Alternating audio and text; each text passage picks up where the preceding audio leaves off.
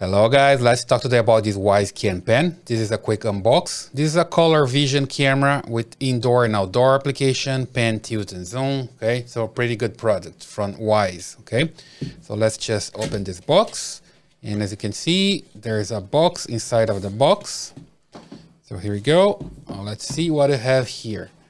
At first, I see a sticker, like just a tuxedo sticker or something like that. Then we have the quick start guide. And here is the camera. Okay. And we also have here an extra box, probably the cable for the camera. So let's take a look. And indeed it is. It's the cable, so you can charge the camera. And also comes with some silicone to protect the camera. And here is the power adapter.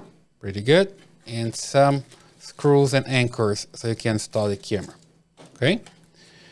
So we have something else here, which is this support for the camera. So, so you can install it, right? So let's just take a look at everything that I have here. And here we go. So the camera, it comes here with this part that connects here to this mount. Okay, so basically gonna mount this one into a wall or something, and then you can install it here. So you come with the screws for that, so you can have the screws to put here in place, and the other ones with anchors you can put into a wall, right? And here we go. Usually you're gonna install like this, right? To a wall, like this, and then you have the camera moving because this gonna stay in place and this one is going to move, right? And it also rotates here. So you have the rotation, which is the pan and also the tilt here. Okay, let's take a look at the camera. So here I have this plastic. Let me just remove it. And here you go.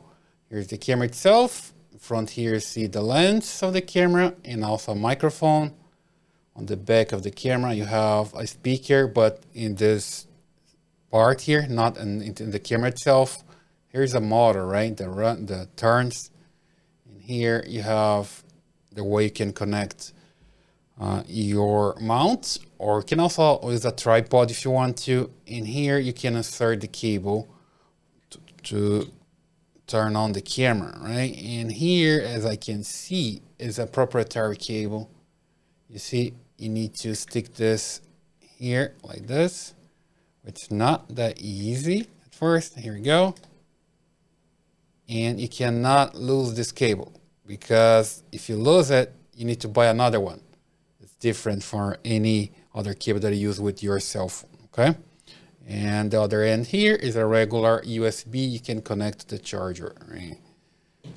So to the power adapter, okay? So pretty good. It's a good product because Wyze is uh, manufacturing good products for a while, okay? So I trust Wyze with the new products and here how the setup button and here a slot for SD card. You can need to open here, there's a rubber to protect and insert your SD card here and you close it back because you need to protect from water. You can't have water inside of your camera. So that's why I have this rubber here and looks pretty good, okay? So that's it. That's a quick unbox of the Wyze Cam, and I hope you like it.